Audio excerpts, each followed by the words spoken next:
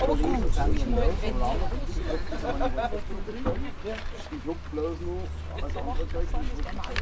finden, wenn wir irgendwo rumlaufen. Ich weiß nicht, jetzt sind wir, wenn wir ungefähr 50-50 machen, dass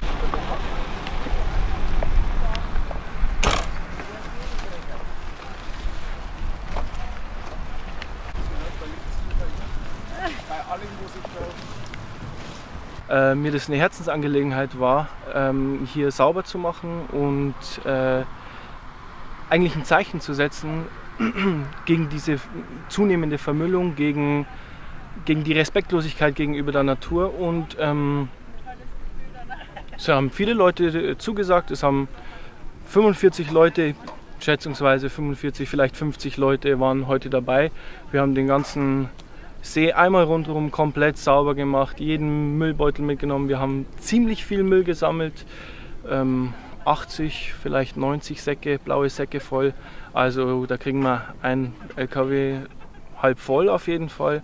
Und äh, ich fand klasse, dass so viele Leute mitgemacht haben. Ich finde es super, dass äh, sich Leute für Naturschutz interessieren und zwar nicht nur die ältere Generation, sondern alle. Und ja, super Sache. Also wirklich ganz toll gelaufen.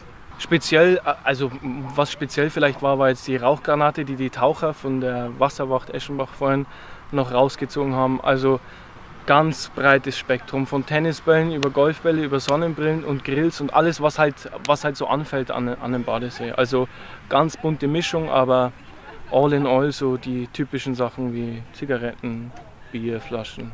Eine Wiederholung war eigentlich nicht geplant und zwar deswegen, weil wir den Eindruck nicht erwecken wollen, dass ähm, wir die Müllmänner hier sind und äh, hinter den Leuten herräumen.